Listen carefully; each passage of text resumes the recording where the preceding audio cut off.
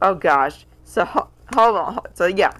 So I don't know what just happened. I think my camera might have been weird. It just like stopped recording, and like it stopped, and I didn't press anything. It stopped, and it just started. I don't know what's wrong. Hopefully, it didn't delete. Uh oh. I don't know. I have to check it. Santa Claus, why are you in here?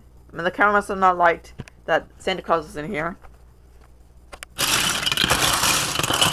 Uh, okay. Let's see. Oh, Lego Friends boat. Medium lavender.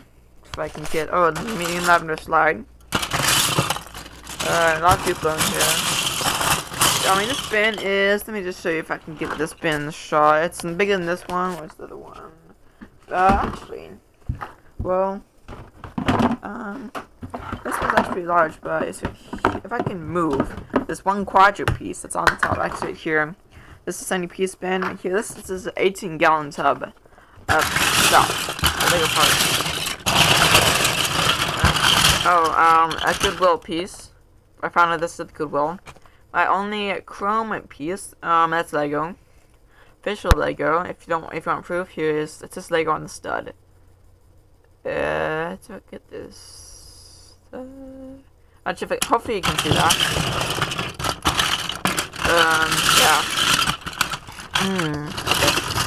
Um, Lego the piece right here. Like, you can see all the pieces at the bottom, but it's not. If I ever do my painting again, it's too long. But yeah, that's about it, guys. Um, this video is going. This video thing is going on way too long guys, and not sure why Santa Claus is chewing in there. I thought I must have accidentally put him in there. Accident. Wait, did he just go in there again? Okay, good. He did.